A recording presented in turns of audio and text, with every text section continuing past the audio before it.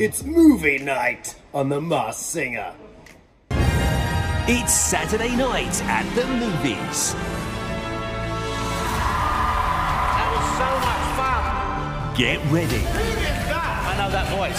for Oscar winning performances, five star reviews, The best yet, I think. and credits roll for another famous face. It's the Masked Singer Movie Night.